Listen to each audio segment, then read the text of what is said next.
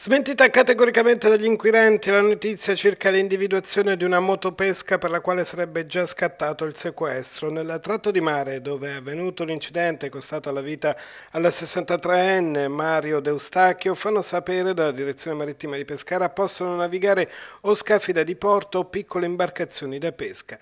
In base alle poche testimonianze raccolte si stanno effettuando verifiche su un paio di imbarcazioni che hanno transitato in zona nelle ore antecedenti al ritrovamento del corpo del povero Mario Deustachio Intanto l'autopsia non sarà disposta prima di domani, quando il corpo sarà trasferito all'ospedale di Teramo. Mario De Stacchio, 63 anni, molto conosciuto a Silvi, dove il fratello Enzo è proprietario di una vongolara, aveva deciso come suo solito farsi una lunga nuotata nel tardo pomeriggio.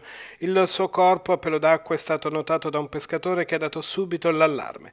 All'inizio si è pensato a un malore, ma quando gli uomini della Guardia Costiera di Giulianova lo hanno issato a bordo si sono accorti di alcune profonde ferite sul capo e su altre parti del corpo. Da qui l'ipotesi che possa essere stato investito dall'elica di un'imbarcazione, tuttavia solo l'esito dell'autopsia potrà accertare la causa della morte.